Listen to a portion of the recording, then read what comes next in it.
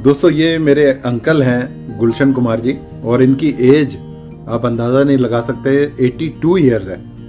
तो आज ये मौका मिला इनसे जानने का कि किस तरह से इनकी लाइफ हेल्दी रही, और जो हमारे दर्शक हैं, स्पेशली जो यंग बच्चे हैं, उनके लिए अंकल क्या बताना चाहेंगे कि किस तरह से व्यक्ति अपना जीवन जिए, जिससे कि इसी तरह वो यंग रहे। तो अंकल जी बताइए, क्या कहना चाहोगे आप यंग जनरेशन को और हमारे दर्शकों को? ये कि अपना डाइट शेड्यूल ठीक रखो। Okay diet schedule regular exercise और राइट थिंकिंग ओके तीन चार चीज़ें पैरामीटर आप ठीक रखो आपको कोई प्रॉब्लम नहीं होती है। एक्सरसाइज करो मॉर्निंग में। हम्म, ये I don't take bed tea I fresh up and I go for park okay As on date, I walk about 5-6 kilometer daily. Okay and I spend about one and a half hour in my park. Okay I am the fastest walker as on date in my park. Oh, great. I cover about uh, one kilometer in about six and a half to seven minutes. Okay, very good. In the morning. Very good. Do some exercise, yoga, everything. I spend one and a half hour. Okay. And what about the food habits? See, See, basic principle is hmm. you must eat to live, hmm. don't live to eat. Oh, that's great.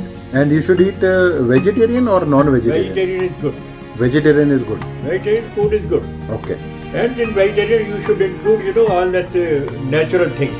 Okay Nowadays, people have gone out to this uh, pizza ले लो ये chowmein हो गया ये हो गया वो हो गया जितनी ये मतलब जंक फ़ूड आ गया ना ये this junk food is spoiling more okay the health okay means vegetables fruits वगैरह ये सब व्यक्ति खाए एक्सरसाइज करे fruit consumption is good but Okay. you should not take fruit after sunset okay no food should be consumed after 4 o'clock 5 o'clock in the okay evening okay but no fruits okay and uh, papita is very good include some uh, dry fruit you know daily Okay. not much okay two three badam cashew nut they mix ओके मेरे तो Mrs ने सब कुछ mix करके बनाया हुआ powder अच्छा अच्छा तो I just take one nut एक दो चम्मच खाई बटन एक और चीज़ आप बता रहे थे कि थिंकिंग सही होनी चाहिए थिंकिंग बड़ी ठीक होनी चाहिए आदमी। हम्म मतलब आपका माइंड अगर इधर उधर गया ना तो बड़ी प्रॉब्लम है। हम्म। आप अपने विचार ना ठीक रखो। मतलब